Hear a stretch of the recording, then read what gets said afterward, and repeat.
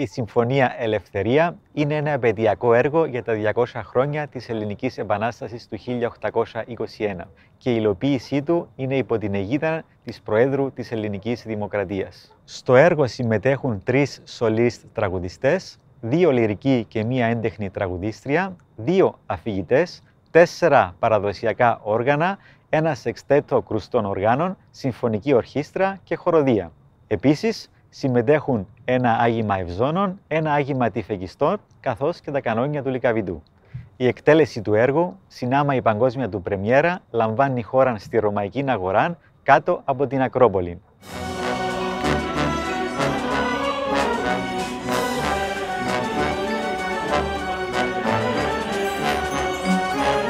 Η ελευθερία αποτελείται από τρία μέρη.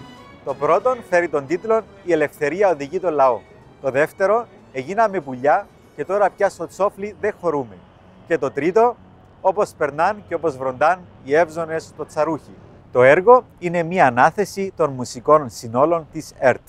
Υμνεί τους αγώνες, τις αξίες και τα ιδανικά της ελευθερίας εμπνεόμενο από τη γενναιότητα του 1821, αναδυφώντας το παρελθόν ενατενίζει το μέλλον.